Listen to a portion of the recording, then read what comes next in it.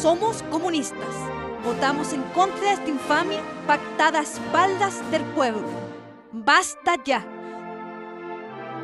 Tú. Aquí se pregunta qué opina la concertación, qué opina la derecha sobre reforma. ¿Qué opina la gente?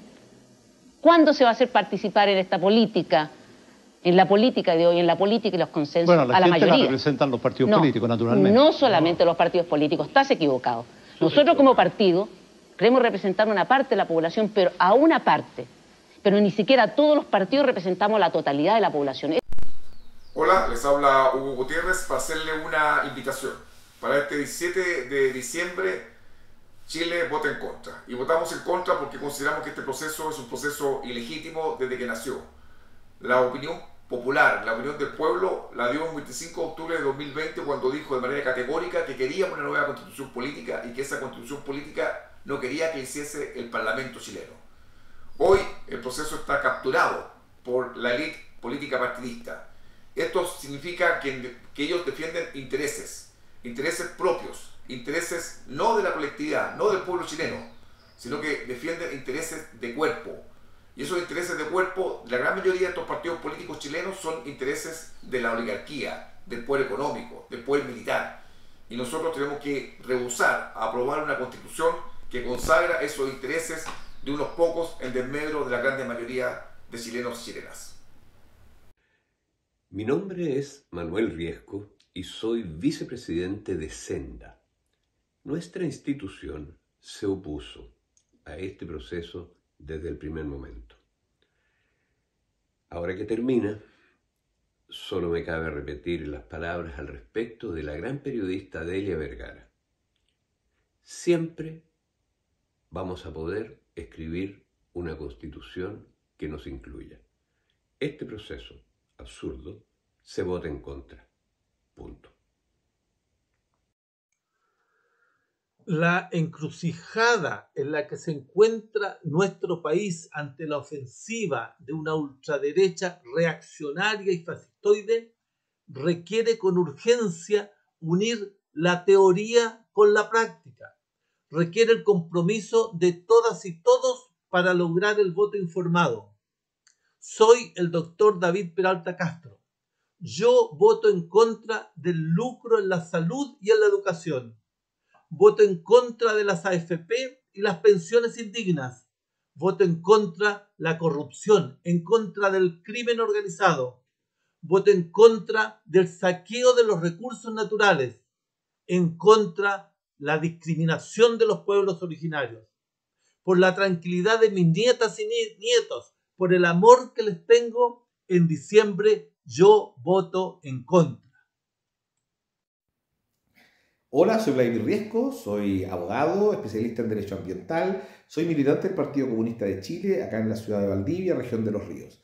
Y por este acto te quiero invitar a votar en contra de el, del proyecto de constitución elaborado por la Comisión eh, Constitucional y que será presentado por plebiscito en diciembre de este año 2023.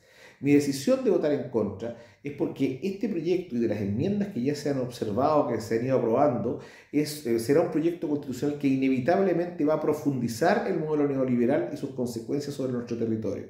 Va a profundizar el modelo extractivismo y además va a promover el negacionismo respecto a los agudos crímenes cometidos contra nuestro pueblo durante la dictadura militar. Eh, es un proyecto constitucional que no aportará en nada a la legitimación de las instituciones y el fortalecimiento de la democracia. Por ello, en diciembre de 2023 votaré en contra. Soy Belén Carvajal, militante de las Juventudes Comunistas, y los invito este 17 de diciembre a votar en contra.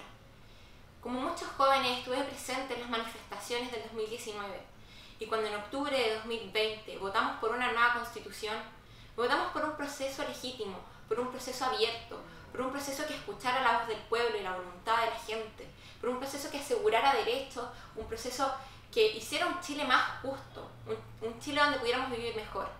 Pero el proceso que estamos viviendo ahora es ilegítimo. Además de que no se valían las voluntades del pueblo que votó ese 25 de octubre del 2020, además de eso estamos arriesgando los derechos fundamentales estamos arriesgando y podemos perder eh, los derechos de las mujeres, va a haber una precarización de la vida de los trabajadores, perpetuar el poder y perpetuar los intereses de la oligarquía. Hola, buenas tardes. Un saludo afectuoso de Juvenal Ayala, poeta, escritor, librero, pues sobre todo iquiqueño, y me sumo a esta iniciativa de, de que todos, todo Chile vota en contra, porque desde un primer momento hemos visto y, y nos hemos cerciorado de que la ultraderecha quiere hacer las cosas desde sus principios canallescos, porque no puede salir nada bueno de un sector